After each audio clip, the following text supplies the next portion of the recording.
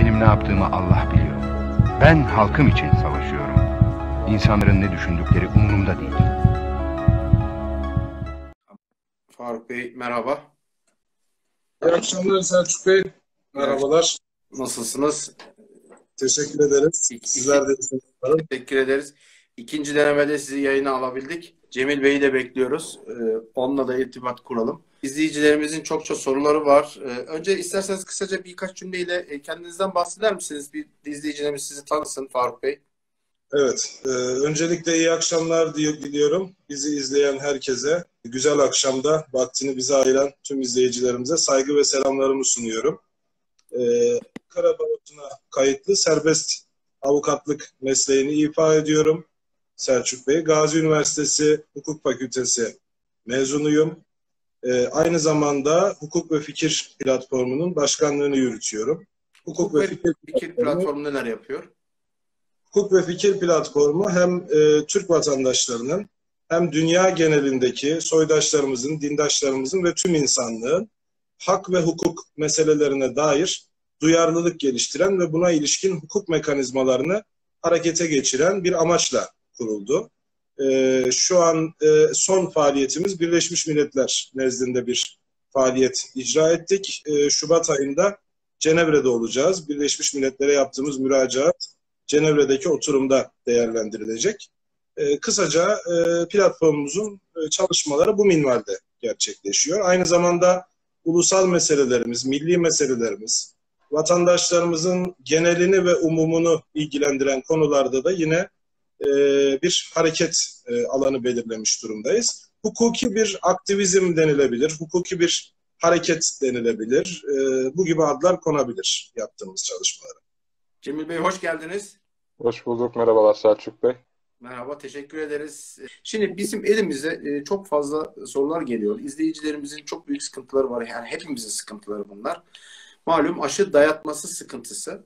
Yani eğitim hakkımız var biliyoruz. Hani anayasanın beş temel haklarından bir tanesi dokunulmaz, değiştirilmez ve vazgeçilmez haklarımızdan.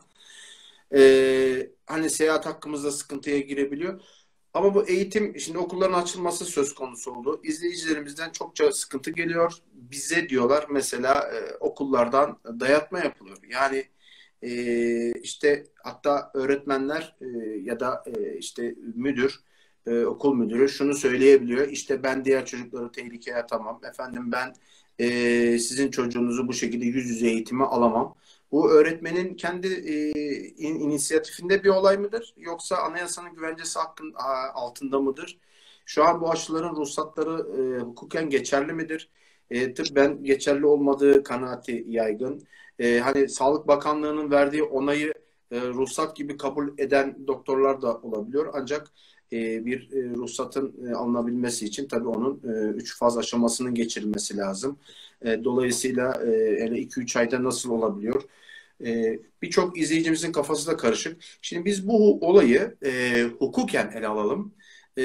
Sizler öncelikle istediğim şu, okulda aşı olmak istemeyen velilere aşı olacaksın yoksa, yoksa senin çocuğunu ben yüz yüze eğitim yapmam deme hakkı var mı? Böyle bir durumla karşılaşan veliler ne yapabilir? Aşı olmak istemiyorlarsa hukuken ne yapılabilir? İsterseniz önce Cemil Bey'den başlayalım. Hani öylesine dedim. Ee, buyur. Tabii. Şimdi öncelikle Selçuk Bey, e, bu eğitim meselesinin devletin bir yükümlülüğü olduğunu ve her Türk vatandaşının, çocuğunun e, zorunlu eğitime nasıl bir yükümlülük olarak tabi olduğu gibi aynı zamanda bir hakkı olduğunu da tekrarlayalım. Dolayısıyla bunun engellenmesi için çok ciddi meselelerin olması lazım. İşte nedir bu ciddi meseleler? Mesela atıyorum savaş oldu, çocukları okula kayıt alamadılar. Çok büyük bir imkansızlık halinde. Bunun dışında çocuğun yüz yüze eğitiminin engellenmesi anayasal haklarının ihlali anlamına gelir. Ve bunun işte aşıya gibi bir duruma bağlanması ise hiç bugüne kadar aklımıza gelmemiş bir ihtimal. Misal buna benzer bir durum Çekya'da yaşandı. Çekya'da e, çocuklarına çoc e, kızamık ve çiçek aşısı yaptırmayan velilerin çocukları kreşe alınmadı. Bunlar Avrupa İnsan Hakları Mahkemesi'ne gitti ama dikkat etmenizi istiyorum. Siz çok güzel bir noktaya parmak bastınız. Bu aşının ruhsatından söz ettiniz. Kızamık aşısı, çiçek aşısı bunlar kendilerini artık kanıtlamış aşılar. Covid aşısı gibi acil kullanım onayına sunulmuş aşılar değil. Dolayısıyla burada velilerin yaptığı aslında birazcık da yanlıştı. Daha mantıksız bir hareketti. Neyse bunlar ahime Çekya'da gittiler. olan bu olay kaç yılında oldu hatırlıyor musunuz? Bu 2013'te davaya götürdüler. Olay 2003'te oldu. Karar Nisan 2021'de verildi. Ahim kararı Nisan 2021'de verildi. Yani 8 Ve, sene e, sürdü bu karar verilmesi. Tabii tabii. Ve gerçek aşılarla ilgili bir itiraz yani. Aynen öyle. Ve dediler ki ahim e, burada şahıslar haksızdır. Devlet haklıdır. Çünkü aşıların kullanıldığı uzun süreden beri bilinmektedir. Üstelik dedi bu sadece kreş eğitimidir. Zorunlu eğitim hakkı değildir. Zorunlu eğitim hakkını ihlal eden bir durum ortada yoktur. Dolayısıyla Covid aşısı olmadığı gerekçesiyle çocukların yüz yüze eğitim hakkını ihlal etmeye çalışan bir yönetici aslında kamu gücünü istismar etmektedir. Bir keyfiyet dahilinde ve naçizane görüşüm tabii üstadım bunu benden çok daha iyi bilecektir. Bir cezai sorumluluğu dahi ortaya çıkabilir. Dolayısıyla bu velilerin bu hakkını ileri sürüp Yani anayasal hakları edebilirler diyorsunuz.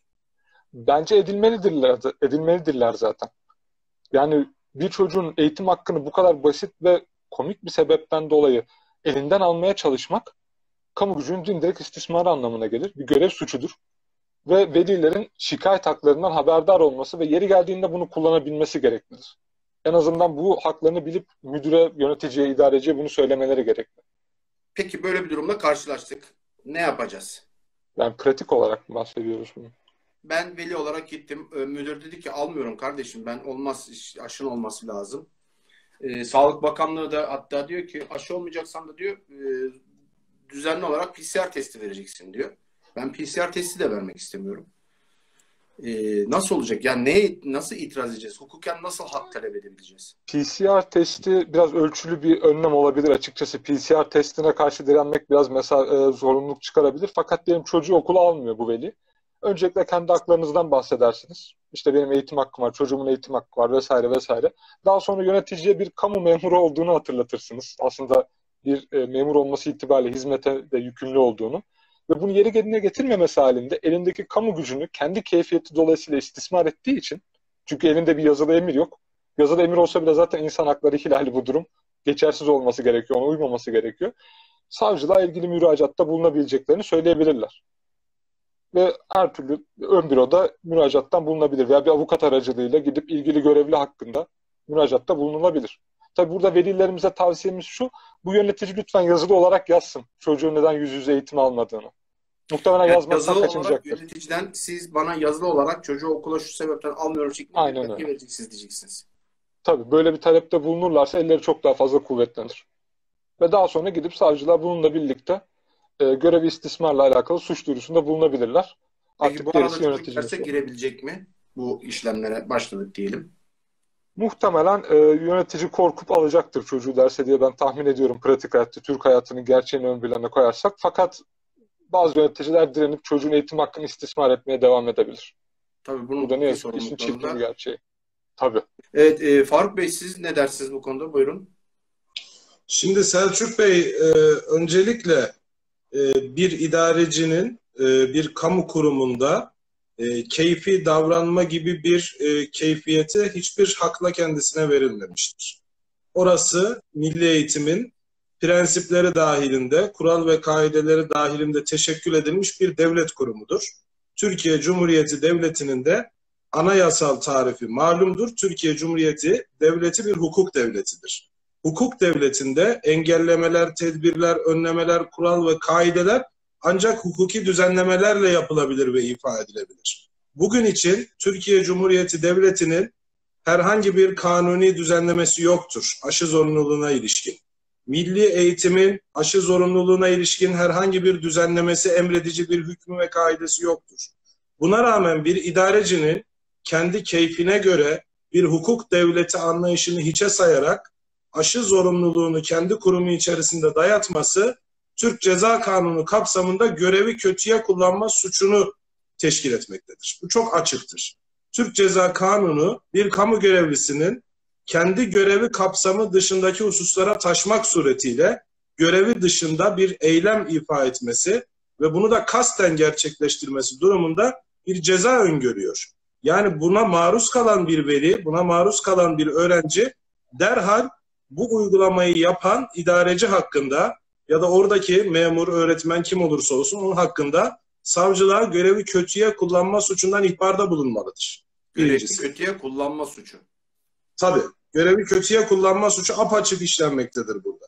İkincisi idarenin işlem ve eylemleri de yine aynı şekilde idari mevzuata tabidir. Şu an için milli eğitimde e, ben de e, eğitim camiasıyla iç içe olan bir insanım. Kendileriyle de irtibat halindeyim. Okul yöneticileriyle vesairelerle de bu konu üzerine istişareler yaptım.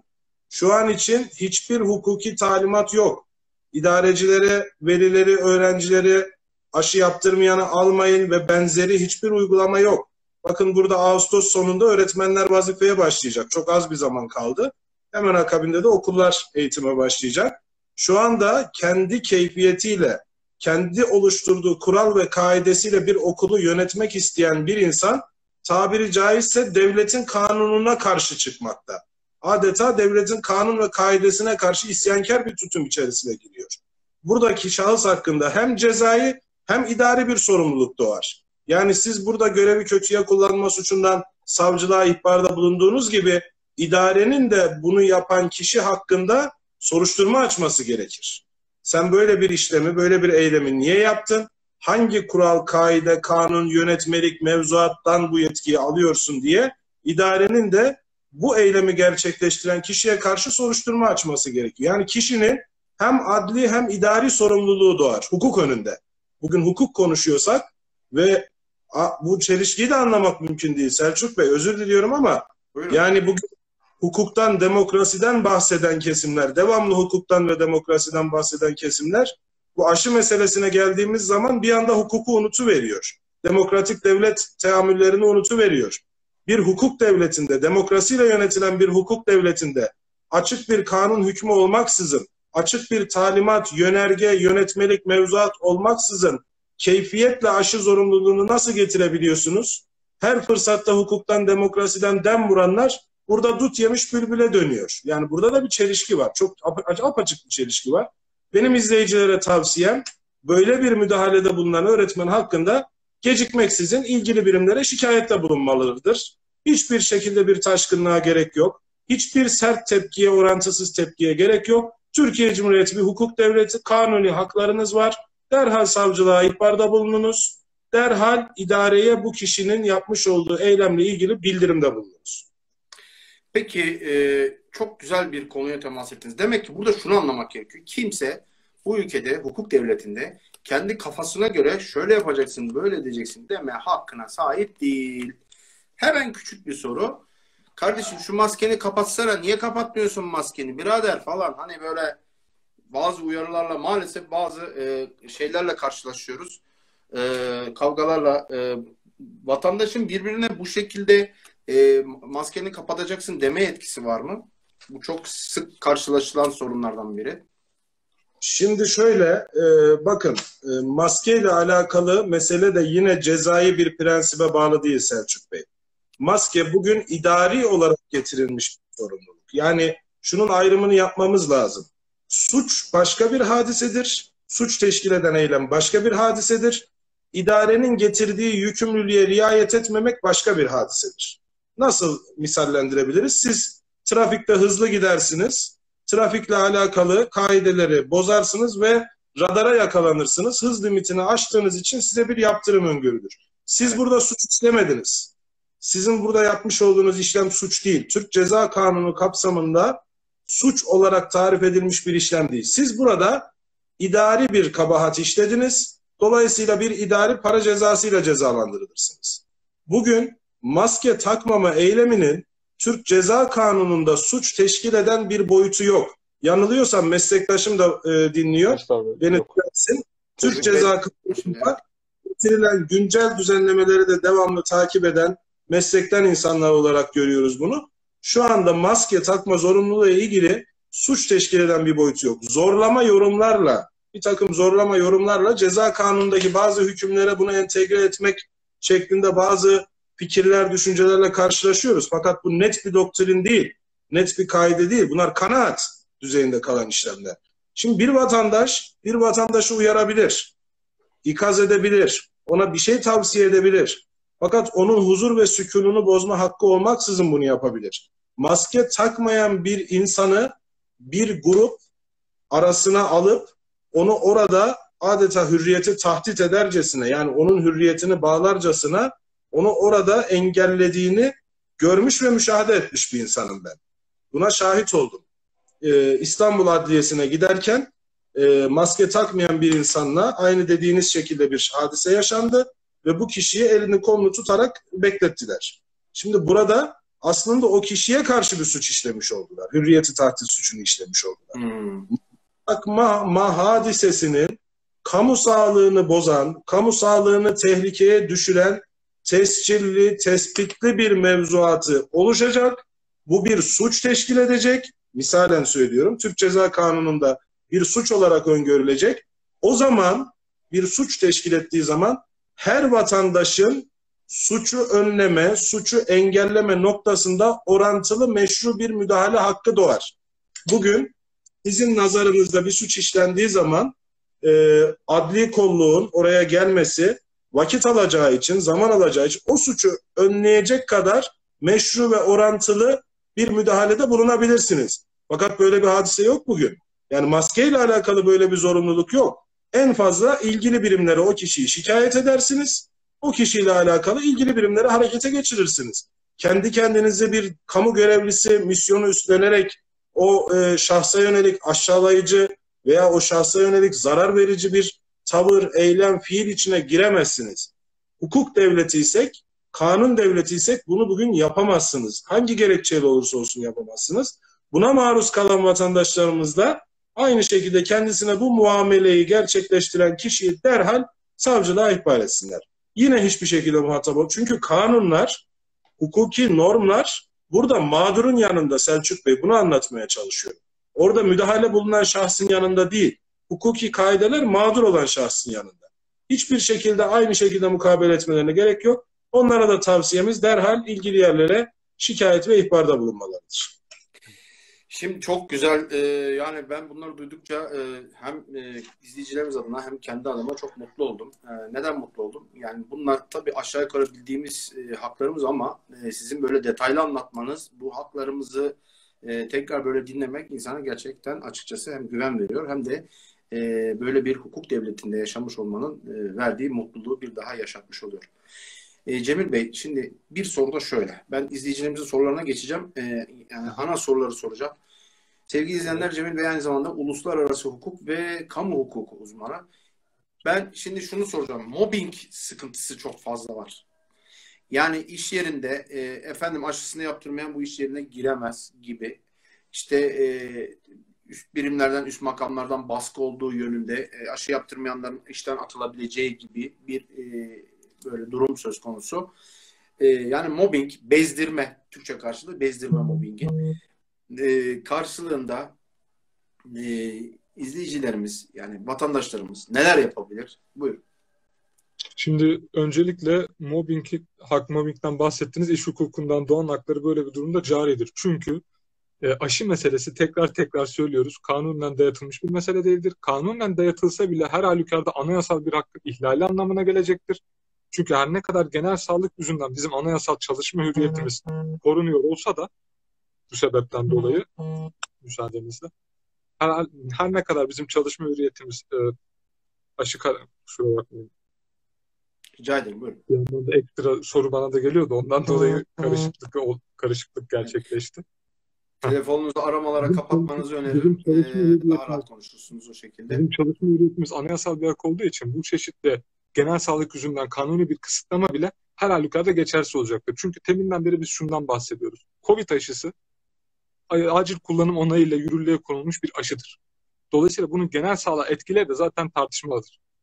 Genel sağlığı koruyucu etkileri zaten tartışmadır. Bilimsel bir şey söylemiyorum fakat elimizdeki veri bu. Bundan kaynak, bundan mütevellit e, çalışma hürriyetini özel kısıtlayıcı sebep gerçekleşmemiştir.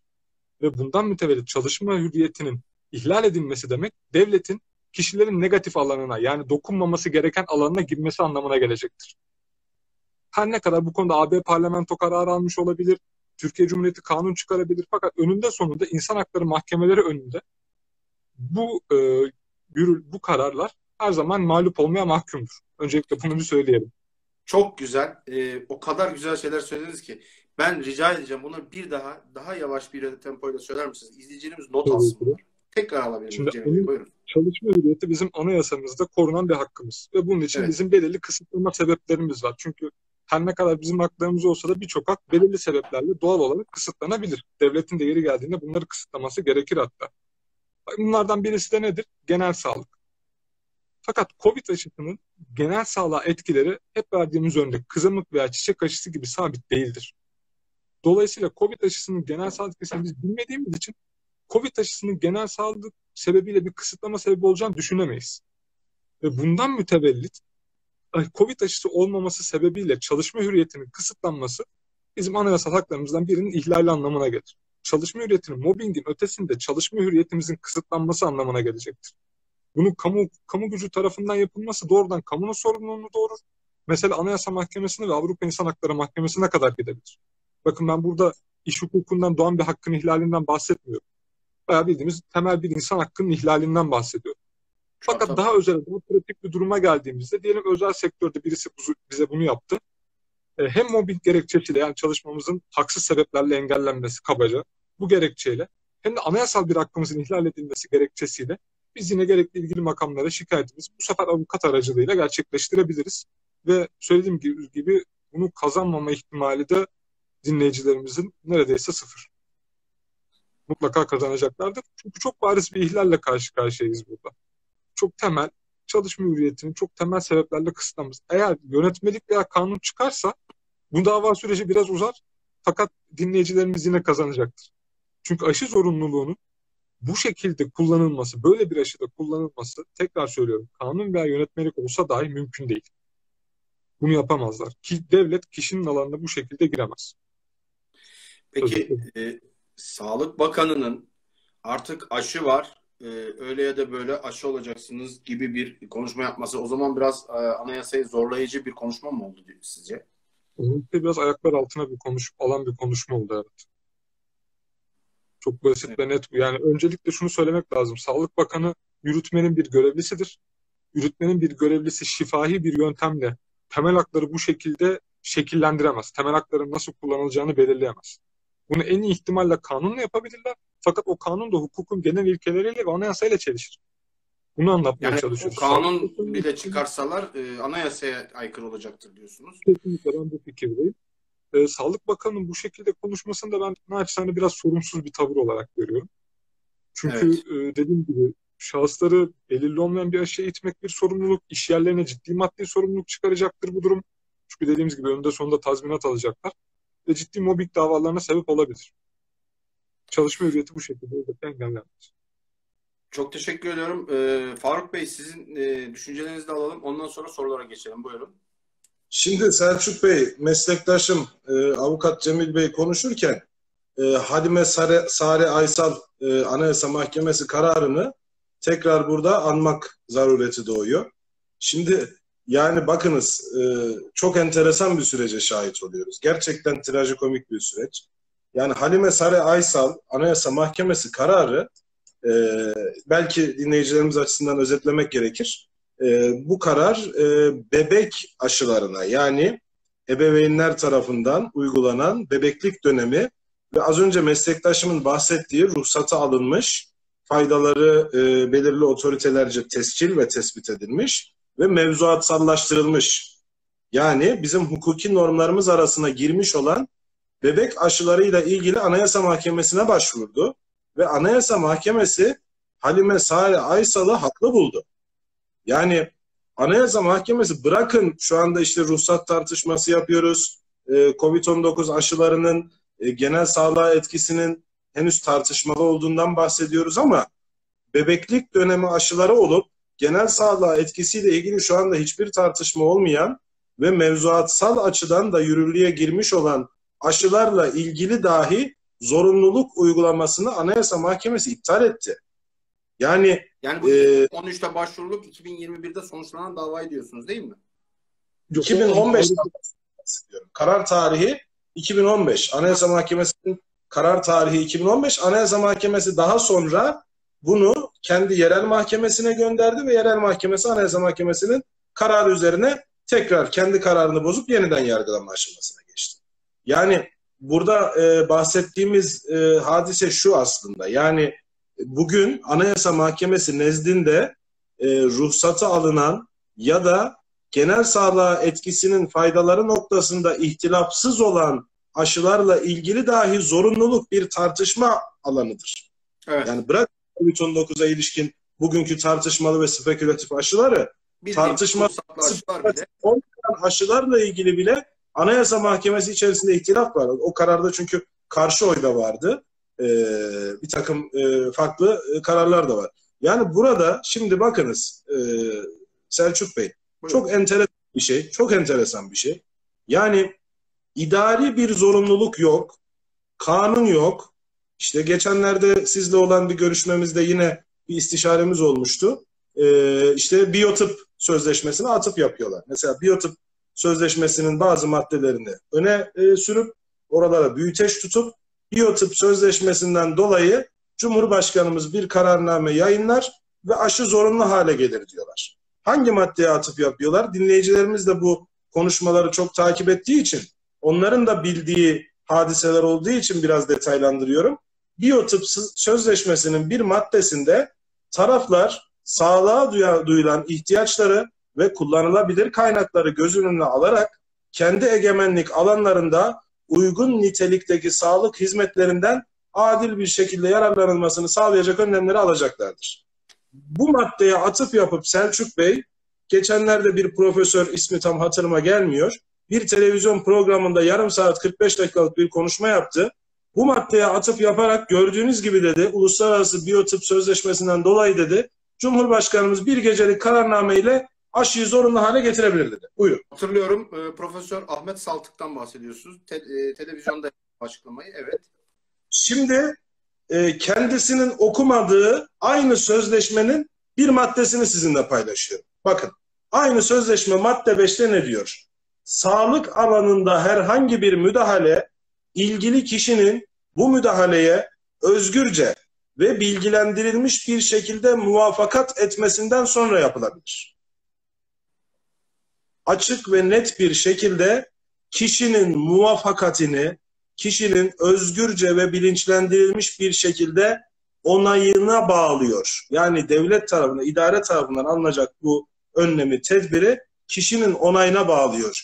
Biyotip sözleşmesi diye ellerinde sallayarak aşı zorunluluğunu bir kararname ile gerçekleştirilebileceğini iddia edenler hemen iki madde alttaki beşinci maddeyi neden okumuyorlar ve neden yorumlamıyorlar?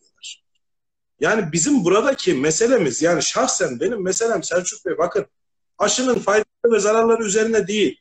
Ben aşının faydaları ve zararları üzerine bir konuşma yapabilecek salahiyette değilim. Evet biz Buna- tıbbı konuşmuyoruz şu anda. Buna ilişkin yani tıbbi bir ihtisasım yok. Buna ilişkin tıbbi okumalarım, donanımım yeterli değil.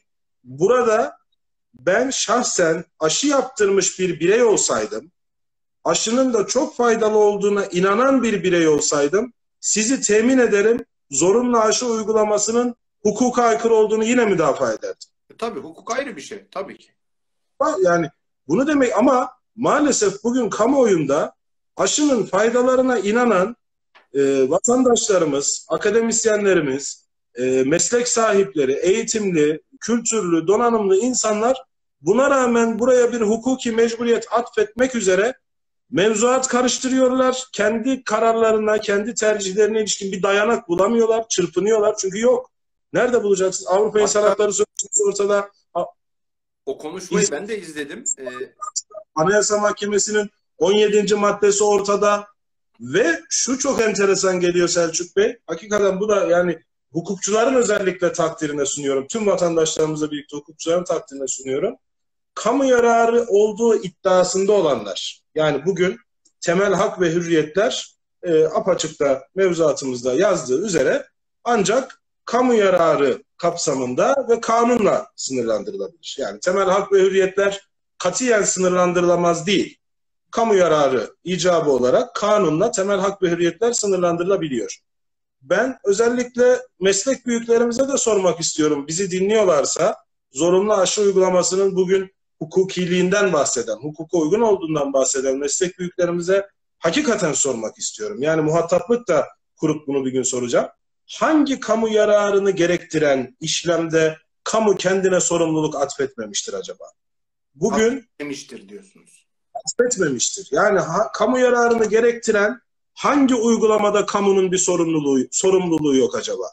Çok açık bir şey söylüyorum. Yani idare yaptığı eylem ve işlemlerden dolayı sorumludur. Bugün idarenin size karşı, bize karşı, topluma karşı, bütün Türk milletine karşı herhangi bir işlem ve eyleminden doğan bir zarar söz konusu olduğu zaman idare bundan sorumludur. Açık bir kaide. Bu Evet. kaide rağmen zorunlu aşıyı savunanlar aşıyla alakalı imzalatılan formda hiçbir sorumluluk alınmamasını neyle bağdaştırıyorlar? Bunu neyle Ya- açıklıyor? Yani bu aşıların Evet. e, siz hukukçu olarak diyorsunuz ki kardeşim siz bu aşıları böyle millete dayatıyorsunuz. Bunun sorumlusu kim? Bunu sadece aşı olan kişiye yüklüyorsunuz. E peki Evet. bu- bunu bu- yani şimdi ben niye sorumlu olayım ki bundan? Bu da çok e, tuhaf bir şey yani. Enteresan. Olur her şey olur. Dersin ki kardeşim 2018 Selçuk Bey özür diliyorum. 2018 Hollanda kararı. Yani 2009 yılında Meksika'da e, başlayan bir domuz gribi vakası vardı biliyorsunuz. Buna ilişkin Hollanda domuz gribi vakasına karşı ülkesinde bir aşı uygulaması yaptı ve yıllar sonra 2018 yani 9 sene sonra Hollanda vatandaşlarına 5 milyon euroluk tazminat bütçesi ayırdı. Çünkü bu aşıdan dolayı etkilenenler, zarar görenler, ziyan görenler İdare nasıl kendisine bir sorumluluk atfetmeyecek? İdare burada nasıl sorumluluk almayacak? Üretici firma burada nasıl sorumluluk almayacak? Üretici firmanın bir sorumluluk almadığı uygulamayı hukuken nasıl mecburi hale getireceksiniz? Bütün uluslararası normlar ortadayken, Avrupa İnsan Hakları Sözleşmesi'nin 8. maddesi ortadayken, Anayasa Mahkemesi'nin 17. ma- Ya çok enteresan bir şey daha Selçuk Bey. Amerika'da bugün birkaç eyalet dışında haricinde yani çok sayıda eyalette din ve vicdan özgürlüğünden dolayı bile aşı reddi hukukidir. Amerika gibi bir ülkede çok sayıda eyalet benim dini inancım aşı yaptırmama karşı diye aşıyı reddeden vatandaşlarına peki diyor, tamam diyor. Bu senin hakkın. Sahte aşılardan bahsediyoruz biz yani. Şu anki aşılardan bahsediyoruz. Yani din- mi bahsediyorsunuz? Bir dakika orayı anlayalım. Evet, Covid-19'dan bahsediyoruz. Bundan dolayı Evet. tamam pardon özür tamam. Yani bunu reddedebiliyor rahatlıkla vatandaş. Birçok eyalet. Yani şuraya geleceğim. İşveren bir şirketin sahibi, patronu, işçi çalıştıran kişi hiçbir idari ayrıcalığı yokken, hiçbir kanuna dair bir uygulayıcılık, mükellefiyeti ve yetkisi yokken, sadece kendi iş yerindeki sorumluluklara sahipken, bir ticareti ifa ediyorken işçisine nasıl zorunlu aşı yaptırımı uygulayabiliyor? Nasıl ona zorunlu aşı mecburiyeti koyabiliyor? Bunun e, hukuki prensibi ne? Dayanağı ne? Buna ilişkin hiçbir geçerli sebep ortada. Bir şey Selçuk buyurun. hemen. Şimdi iş hukukunun anayasa 5. maddesi miydi? 56. madde yanılmıyorsam. Herkes sağlıklı ve dengeli bir şekilde yaşama hakkına sahiptir. Aşıyı reddetmek yakın e, çevreyi, tüm toplumun sağlığını riske mi sok- sokuyor yani? Böyle bir gerekçeyle e, işte sen milletin sağlığını riske sokuyorsun. Anayasaya göre de herkes işte e, 56. maddeye göre herkes sağlıklı ve dengeli bir şekilde yaşama hakkına sahiptir. Sen bu hakkı ihlal ediyorsun. Suçlaması yapılabilir mi aşı olmayanlara? Ee, çok güzel bir soru. Cemil Bey isterseniz Cemil Bey evrazlısınız sonra size devam edelim. Size Cemil Bey'e mesaj devrediyorum. Sizin e, aşı yaptırmadığın için insanların sağlığını riske sokuyorsun veya sok- sokabilirsin veya sokma ihtimalindesin veya ihtimalinin ihtimalindesin. Bunların hepsi yorum ve kanaat. Bunlar kamu otoritesince tespit ve tescil edilecek. Bunlar ilgili komisyonlarca tespit ve tescil edilecek. Kısa, orta ve uzun vadedeki etkileri dahilinde tespit ve tescil edilecek. Uluslararası sözleşmeler, anayasa, kanun, tüzük, yönetmelik, normlar hiyerarşisine göre de kaideleştirecek, daha sonra uygulanacak. Yani bir kişi kafasına göre sen kamunun sağlığını riske atıyorsun, o yüzden seni işten atma hakkın var, bak kanun maddesi böyle emrediyor deyip de kendisini hakim, savcı e, ya da e, cumhurbaşkanı veya anayasa mahkemesi başkanı yerine koyamaz. İşverenin böyle bir hakkı ve haddi yoktur hukuk devletinde. Meslektaşımdan özür dileyip sözü ona devrediyorum. e, meslek büyüğümün sözlerini ben de tekrarlamak istediğim için aslında o yüzden güldüm. Çünkü bu argümanları çok çok sık duyuyoruz biz Selçuk Bey. Fakat şöyle bir durum var. Birincisi diyelim ki bunlar meslek büyüğümün dediği gibi sıralı bir şekilde tescil edildi, tespit edildi ve bize diyorlar ki biz işte kamu yararı gereğince sevgili kardeşim sana bu aşıyı zorlu olarak yapacağız. Ya ben burada teorik olarak şu karşılığı veriyorum. Biz Sovyetler Birliği miyiz? Değil. En başta ne dedik? Biz bir hukuk devletiyiz. Haklarımız belli. Devlet karşısında bizim bir alanımız var. Çekirdek bir alanımız var. Bu alana devletin girmesi çok zor. Devletin bu alana girme gibi bir hakkı da yok. Bütün bunlar belirlense dahi sadece kamu yararı gerekçesiyle devletin bizim vücut bütünlüğümüzü bu şekilde ihlal edebilmesi bence bir tartışma konusu olmalı. Bizim devlete karşı yani kamu gücüne karşı şahıslar olarak, birey olarak bir varlığımız var, bir sınırımız var. Bütün bunlar olsa da Anayasanın 56. maddesinden buradan sonuç çıkarmak yani aşı zorunluluğun devletin pozitif bir hükmünde sorun çıkarmak çok ayrı bir mesele. Ben atıyorum eğitimdir. Benim evlilik raporumda bunu saklıyorumdur. Bu başka bir hikaye. Ama aşıya buradan bir pay çıkarmaya çalışmak bana çok açıkça söyleyeyim e, fazla yorum gibi geliyor. İkincisi, zorlama olmuş biraz diyorsunuz. Fazla zorlama. Evet. İkincisi de bu imzalatılan belge bahsi. Bakın yaşam hakkı Avrupa İnsan Hakları Sözleşmesi'nce korunur ve bizim çekirdek hakkımızdır. Yani savaş döneminde bile devlet yaşam hakkını ihlal edemez. Ve benim yaşam hakkımı ihlal edecek bir belgeye ben kendi rızamla e, izin veremem. Bize o kağıtları imzalatıyorlar. Sorumluluktan kurtulduklarını düşünüyorlar. Ama öyle bir dünya yok. Ben bu haktan zaten bu şekilde feragat edemem. Bilimsel bir çalışmada da feragat. Bizde bir ötenazi yasağı var netice itibariyle. Nasıl feragat edeceğim ben yaşam hakkından bir sözleşmeyle? Böyle bir şey mümkün değil. Ötenazi yasağı da var tabii doğru. Evet. Bunu hukuk talebesi bile genel ilkelerden çıkarabilir. Yaşam hakkından rızayla feragat edilemez. Ya bu belge hangi ne düşünüp kim hazırladı onu da çok merak ediyorum. Gerçekten öğrenmek isterim.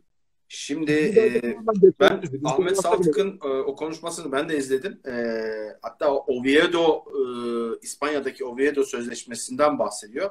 Orada yanılmıyorsam 26. 27. maddeden bahsediyordu hatta.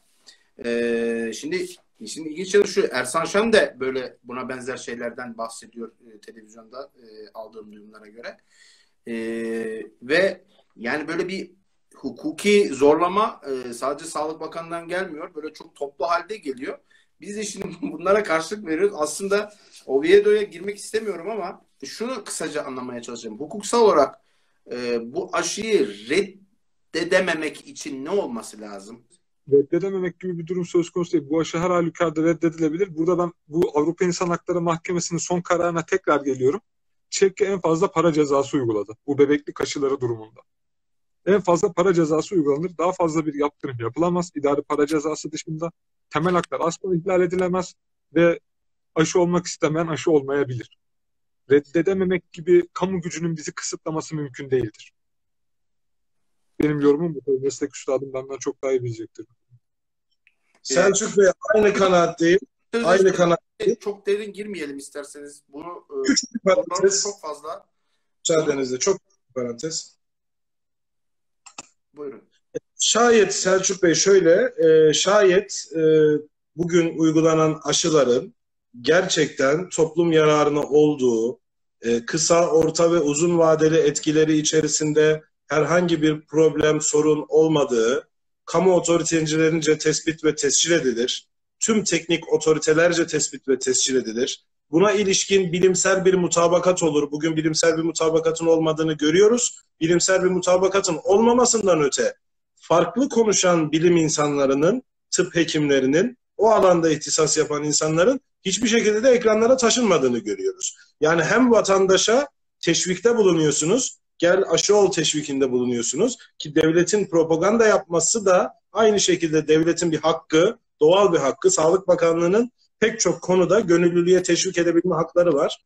Devlet bu propagandayı yaparken ekranlarda, özel sektöre ait ekranlarda bu işe ilişkin farklı konuşanları çıkarmıyorsunuz, onlara mobbing uyguluyorsunuz. Madem vatandaşın ikna olmasını istiyorsunuz, şüphelerinden arınmasını istiyorsunuz, o zaman niye aykırı konuşan insanları bugün e, merkezi söylemin karşısına oturtup vatandaşın tarafsız, objektif bir akılla bu gözlemi yapmasının önüne geçiyorsunuz. Bu da bir çelişki. Yani Aslında, ana medyada, televizyonlarda diyelim e, karşıt görüş yok. Sürekli aynı görüş. Muhalefeti de iktidarı da bir oldu bu konuda ve hep aynı şekilde bir e, dikte maalesef söz konusu.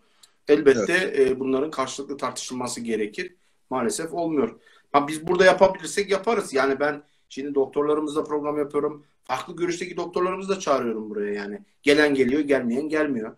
Yani insanlar farklı görüşleri e, karşılıklı bir arada görsün ki kendisi daha iyi karar versin. Ben aslında biraz da bunu istiyorum. Yani söyle hocam sen söyle biz dinleyelim de, de olmasın. Yani karşılıklı olsun. Maalesef dediğiniz gibi televizyonlarda da bu yok.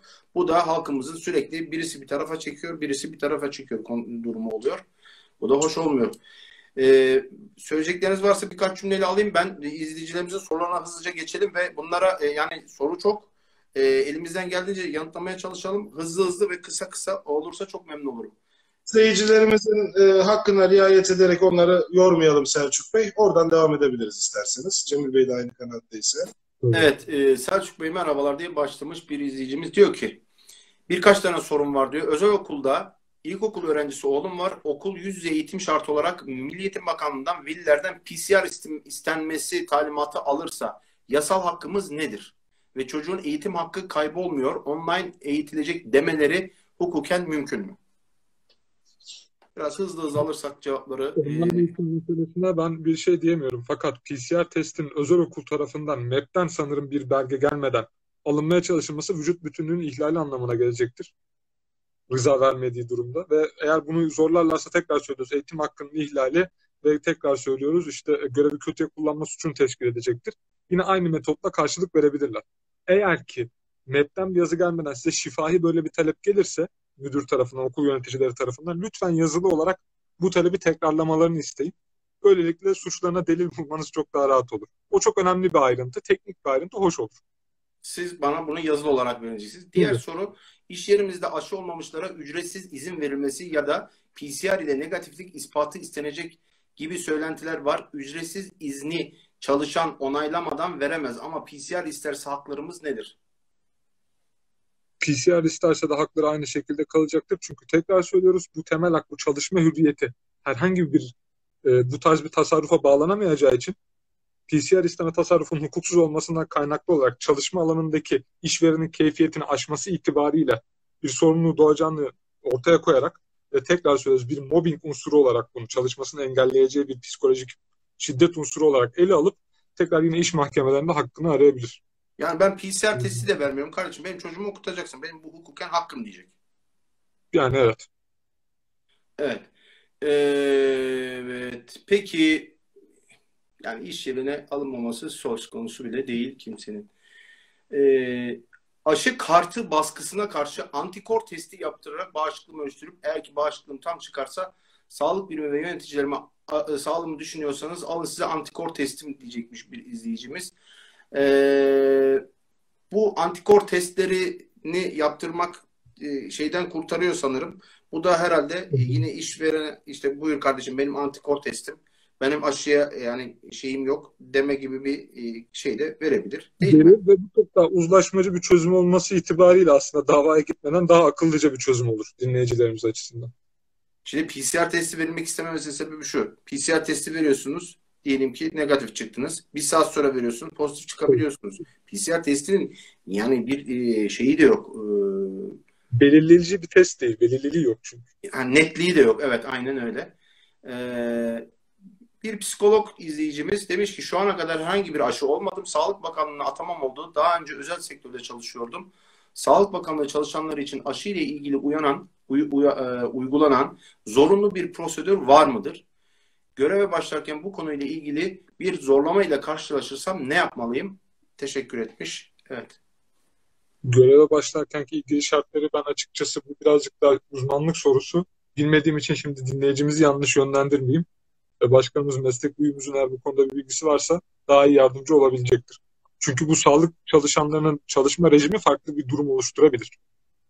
Açıkçası kamu çalışanı. Sağlık Bakanlığı çalışanları için aşı ile ilgili uyan, uygulanan zorunlu bir prosedür var mı? Şöyle yapalım. İsterseniz bunları not alın.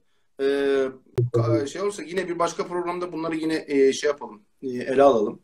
İsterseniz bunu da yapabiliriz. Ben bir başka soruya geçeyim isterseniz. Ee, Faruk Bey e, not alırsanız evet. alın ya da ben soruları sorayım isterseniz bir yandan. Tamam. Tabii. Ee, sağlık çalışanıyım. Aşı olmadım. Dayatmalara karşı nasıl bir tutum sergilemeliyim demiş yine Ee, bir başka soru. Deminki soruyla çok alakalı. Hmm, aşağı yukarı. Özel bir okulda ana sınıf öğretmeni olarak çalışıyorum. Normalde önümüzdeki dönem çalışacağımıza dair sözleşme imzaladık. Sağlık Bakanı'nın açıklamasından sonra mıdır? Tek tek bütün mesai arkadaşlarımı arayarak aşısız öğretmen ile çalışmak istemediğini, hatta saat vererek en geç saat 16.30'a kadar karar vermemiz gerektiğini söyleyerek ciddi bir anlamda sesini yükselterek mobbing uyguladı. Evet hukuki değil ama okul kurucusu istemiyor dedi. Ben bugün ağlayarak iradem dışı aşı oldum. Şimdi bu çok acı bir olay yani. Diyor ve tazminat veriyorlar ama ben okuldan ayrılmak istemiyorum. 2 3 4 aşının da devamı gelecek ama olmak istemiyorum. Bu süreçte nasıl hareket edebilirim demiş izleyicimiz. Aslında bu soruyu atlamasak Selçuk Bey çünkü bu başka bir Ben pencere size atıyor. bağlayayım. Buyurun. Buyurun. Şimdi e, izleyicilerimizi de yanlış yönlendirmek istemeyiz. Bir konuyu hatırlatalım. E, özel sektörde serbest e, ticaret piyasasının olduğu e, özel sektörde e, işverenin iş akdini feshetme gibi e, bir hakkı var. Yani şöyle bir e, hakkı derken buna ilişkin keyfiyetle de olsa bir eylemde bulunabiliyor. Yani e, işveren iş akdini feshedebilir. Hatta siz e, herhangi bir sebep, hiç aşı meselesini de konuşmayalım burada, herhangi bir sebepten dolayı iş akdiniz feshed- feshedildiği zaman mahkemeye gidersiniz, işe iade davası açarsınız. İşe iade davasını kazansanız bile işverenin size işe iade almama hakkı yine var. Bir işe iade tazminatı öder ve sizi tekrar işe almayabilir. Mahkeme kararına bile uyma zorunluluğu yok. Yani önce izleyicilerimizi de burada e, şevklendirip yanlış bir yola sürüklemeyelim. E, işveren, özel sektörde işveren iş akdini her daim feshedebiliyor. Fakat burada ortaya çıkan önemli bir problem iş akdinin geçerli ve haklı bir sebebe dayanmaksızın feshedildiği takdirde sizin bazı haklarınız var. Nedir bu haklarınız? İşte kıdem tazminatına hak kazanıyorsunuz. Eğer ihbar süresi içinde olmamışsa ihbar tazminatına kazan. Mobbinge maruz kaldıysanız bir önceki izleyicimizin cevabı da bunun içinde. Mobbing süreklilik arz eden bir eylemdir. Devamlılık arz eden bir eylemdir. Tek seferlik bir e, maruziyetten bahsetti. Bunu mobbing kapsamında çok değerlendirmemiz de mümkün değil. E, vesaire vesaire. Yani haklarınız var. İşverenden almanız gereken haklar var. Ancak hiçbir mahkeme kararı dahi özel sektörde, serbest piyasada sizi işe alma zorunluluğunu işverene şart koşmuyor. Bu sadece Covid e, ve aşı meselesinde değil, tüm meseleler için geçerli olan bir husus Selçuk Bey. E, Bunu hatırlatalım izleyicilerimize. Devam edeyim mi? Buyurunuz. Deneysel sıvı olmak istemeyen kamu görevlilerine sırf baskı oluşturmak için eee, hata oranı çok yüksek olan PCR testi istenmesi hukuki midir? Aslında bunun da cevabını verdik ama isterseniz vurgulayın. PCR testi ile ilgili Cemil Bey az önce bir düzenlemeden bahsetmişti. Evet. Ee, PCR testi ile alakalı bir norm geldiyse eğer e, son zamanlarda yani hukukileşmiştir diyebiliriz.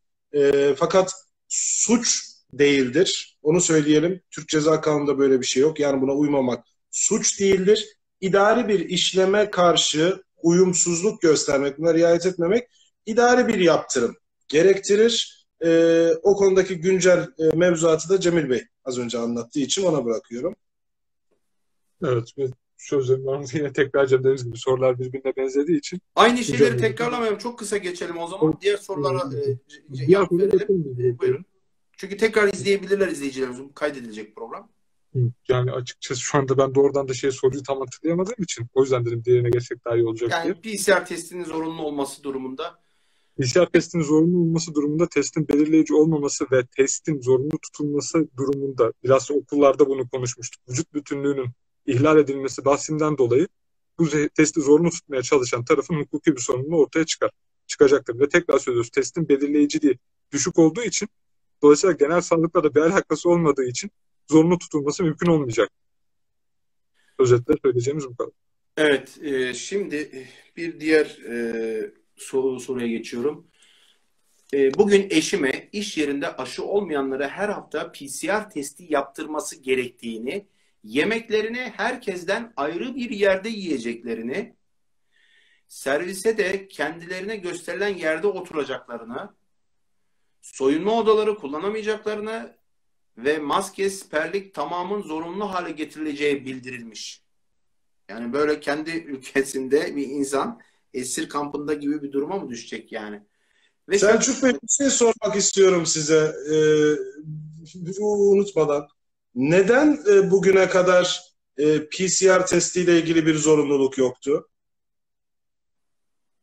Değil mi? Yani bugüne kadar, bugüne kadar yani illa e, okulların mı açılması gerekiyor ya da iş iş yerine yani iş ne bileyim iş yerinde durduk yere birden böyle şey mi başlaması gerekiyor diyorsun? Yani HES kodu bugüne kadar yeterliydi. HES koduyla e, birlikte alışveriş merkezlerine girebiliyordunuz. Uçak e, seyahati yapabiliyordunuz. Otobüs seyahati yapabiliyordunuz. Her alanda HES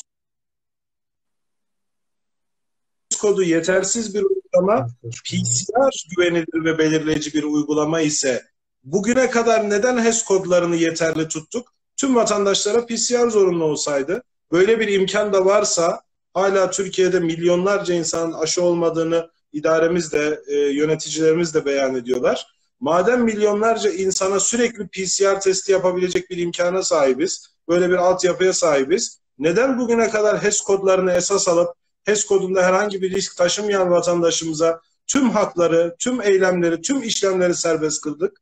PCR zorunlu olsaydı PCR yaptırsalardı. Yani buradan şuna geleceğim. İdari işlemlerin aynı zamanda ölçülü ve orantılı olması lazım. Yani kamu hukuku uzmanının yanında çok e, girmek istemiyorum bunu ama bir idari işlem aynı zamanda ölçülülük ve orantılılık, elverişlilik içermeli. Bunlar doktriner ilkeler. Siz bir idari eylem ve işlem yaparken veya bir zorunluluk getirirken elverişlilik ilkesine aykırıysa, ölçülülük ilkesine aykırıysa, adil dengeye aykırı. Bugün milyonlarca insan nasıl devamlı PCR testi yaptıracak? Yani zorunlu aşı uygulanmasını hukukileştiremeyip bu yolla bir mecburiyete mi sevk ediyoruz insanımızı? Bunu sormak için e, ifade ediyorum. Çok Burada, güzel bir yerinde soruydu. Ben e, devam etmek istiyorum. Selçuk Bey, bir eklemeye dinleyicilerimizin Tabii ki buyurun. Lütfen Cemil Bey buyurun. Sürekli bir çekke ahim kararına geliyoruz. Çünkü bu son derece güncel. Nisan 2021'de verilmiş bir karar. Burada ahim verdiği kararda çekke lehine karar verdi ama dedi ki ya idari para cezası bu aşı zorunluluğunun, çocuk aşı, bebek aşılarının zorunluluğunun ihlali için ölçülü bir cezadır dedi. Şimdi biz ama diyoruz ki Türkiye'de bu adamı biz ilkel toplumlar gibi tecrit edeceğiz. İşte eş, e, hanımefendinin sanırım veya beyefendinin eşinin ayrı serviste oturma, ayrı yemek yeme, soyunma salonlarını kullandırmama. Bakın ne kadar fark var iki önlem arasında. Evet. Dolayısıyla bu önlemlerin alınması tekrar söylüyorum gerekli hukuki altyapı oluşturmaya çalışsalar bile 10 yıl sonra, 15 yıl sonra Türkiye'nin aleyhine ahimle karar olarak döner. Çünkü ölçülü bir ölçülü bir tedbir değildir bu idarede. Kişinin alanına ölçüsüz bir şekilde devletin girmesi anlamına gelecektir. Bunu tekrarlamak istiyorum çünkü bu çok önemli bir ayrıntı.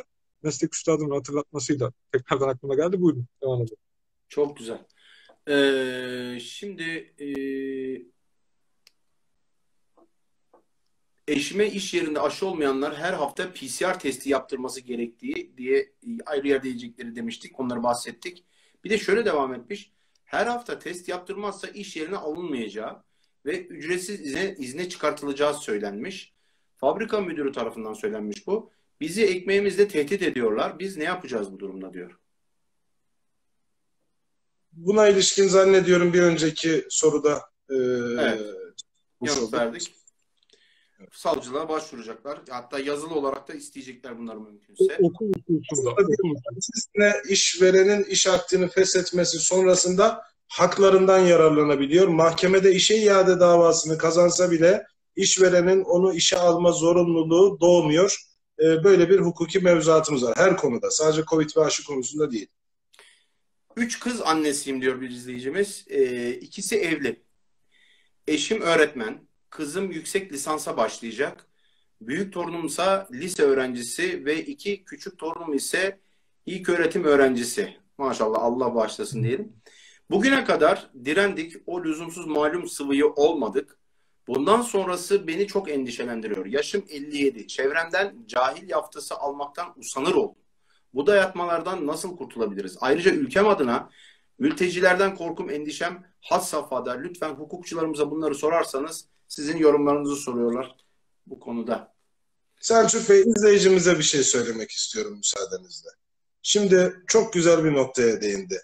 Her şeyden önce, bizim her şeyden önce bizi biz yapan bir değerimiz var. O da Türk milletinin milli birlik ve beraberliğidir. Bakın bugün tarih boyunca bu millet binlerce yıl ötese, ötelerden gelip bugün bu topraklarda tutunabiliyorsak, bugün huzurla, müreffeh bir şekilde huzurla yaşayabiliyorsak bunu milli birlik ve beraberliğimize borçluyuz. Biz milletçe birbirimize tutunan, dayanışma içinde olan, milli kültürümüze sarılan, örf anetlerimize sarılan, yardımlaşmayı bilen, misafirperverliği bilen, komşuluğu bilen, e, anneye, büyüye saygı, küçüğe sevgiyi bilen bir milletiz. Milletçe milli birlik ve beraberlik bizim başımızın üstünde, baş tacımız. Fakat çok korktuğumuz bir manzara gerçekleşiyor şu anda. Yani Türk milletini e, yedi düvel cihan e, parçalayamamış, milli ve birlik ve beraberliğimizi tüm tehditlere rağmen muhafaza etmişiz. Böyle bir manzara karşı Yani sanki böyle bir toplumda bir ayrıştırılma, birileri bunu fırsat bilip yani hani böyle sadece solcu, Alevi, Sünni, Kürt, Türk diye beceremediler. Baktılar millet kardeş birbirinden kopmuyor. Şimdi aşıcı aşısız gibi böyle yani bir gerginliğe sebep olmaya çalışıyorlar sanki. Bu oyuna gelmemek lazım demeye getirdi Faruk Bey. Siz ne Kesinlikle. düşünüyorsunuz bu arada? Ben de birebir aynı fikirdeyim. Bilhassa bu aşı hususunda şöyle bir durum var. Ben henüz aşı olmadım. Fakat aşı karşıtı değilim. Bu çok önemli bir ayrıntı. Ben belli Hiç kimse aşı karşı değil. Bu Tabii. aşı ruhsatı alın, alınmayan sıvılara karşı zaten insanlar. Kesinlikle. Biz, ya ben açıkçası Erciyes aşısını bekliyorum. Onu da söylemiş olayım. Fakat aşı olmayan insanların toplumdan farklı şekillerde tecrit edilmesi başkanımızın da belirttiği birlik ve beraberlik hissimize çok ciddi darbeler vurmakta.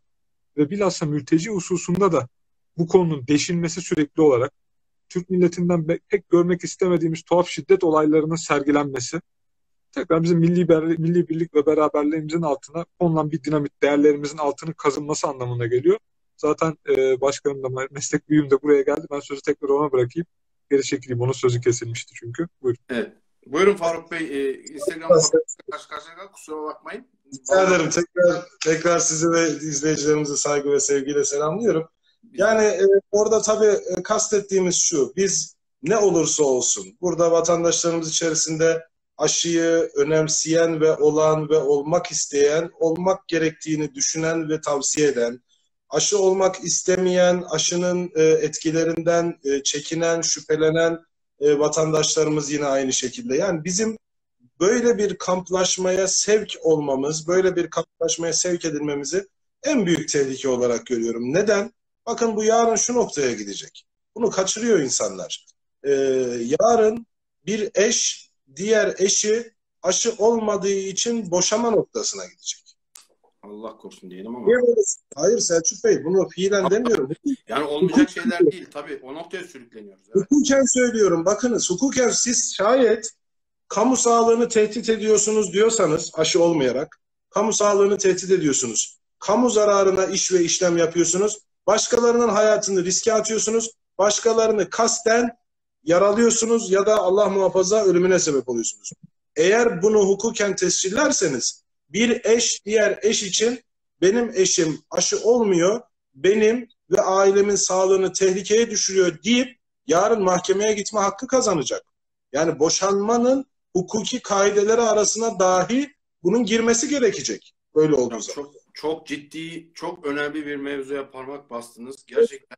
Yani aileleri de mi parçalayalım Selçuk Bey? Yani aileleri de mi parçalayalım? Milli birlik ve beraberliğimizi böyle bir hadise yüzünden ziyana mı uğratalım? Bunlara gerek yok. Bunlar bilimsel düzeyde konuşulacak. İnsanların şüpheleri var, insanların tedirginlikleri var. Bunları paylaşacak. Tedirginlikleri ve şüpheleri olmayan insanlar niye tedirgin ve şüpheli olmadıklarını ifade edecek. Böyle bir naifliğe ihtiyacımız var bizim bu süreçte. Yani neden böyle bir sertlik, neden böyle bir hışım ve bunu da genellikle genellikle bunu da Medya. medya yapıyor. Medya bunu da yaparken az önce söylediğim nokta çok önemli. Diğer düşünceye yer vermiyor. Diğer düşünceyi bloke ediyor. Vatandaşlarımızın da objektif bir akılla kendi zihninde terazi kurmalarına engel oluyor. Bu Hele tehlikeli. hukukçu televizyonda çıkıp da böyle ağzından böyle salyalar a- affedersiniz ama adeta saçarcasına aşı olanlar şöyle olacak böyle olacak diye böyle e, kurabiye canavarı gibi e, saçma sapan tavırlarla öfke pompalarsa e, bu da suç değil mi? Yani toplumu öfke, kin e, ve e, ne diyelim e, ayrılığa e, sebebiyet verecek şekilde yapılan konuşmalar bunlar hakkında hani Hem insanımıza karşı suç, hem kanun önünde suç, hem devlet katında suç, hem Allah katında suç Selçuk. evet evet katılıyorum.